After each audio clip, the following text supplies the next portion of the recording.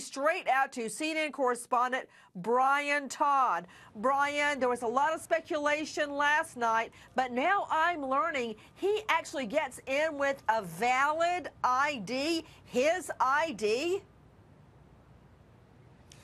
That's right, uh, Nancy. He got in with a valid ID. He had legitimate access to the Navy Yard, according to the FBI. Uh, what we've been told is uh, this is from attorneys who help um, thousands of people get security clearances in this area. These two attorneys have told us that the process is as follows. A private firm does the background checks for some civilian contractors. That's on behalf of the Office of Personnel Management from the U.S. government. That firm reports their findings to that government agency, which then gives the findings to the Department of Defense.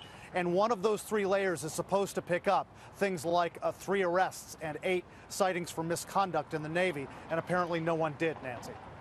You know, it, it, Brian, it's not just that. You're correct, of course, Brian Todd. But in addition, the government hospital, the VA hospital, had treated him and said he showed signs of schizophrenia. There was one incident where he calls police claiming that three people are after him and he's hearing voices out of his closet. And he has, you know, Brian Todd, I worked in the courthouse for over a decade, all right?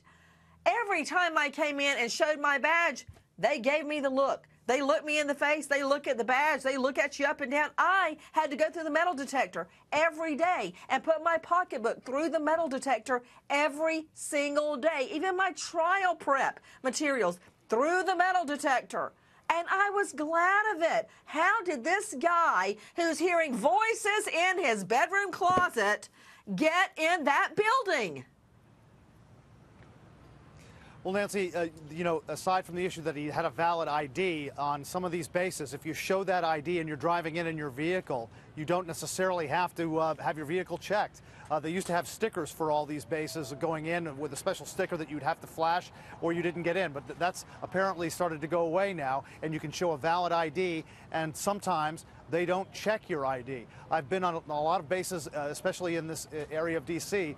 Uh, my wife is a government employee. When I'm by myself and I show my own driver's license, uh, they do check my vehicle and they check everything. When I'm with my wife and she shows her government ID, we don't have a problem. We go right through. So that's a process that I'm sure is going to be reviewed. And the Defense Secretary Chuck Hagel has said he is going to order a system-wide review of this entire process, the physical security and the clearance issues at every Defense Department installation around the world.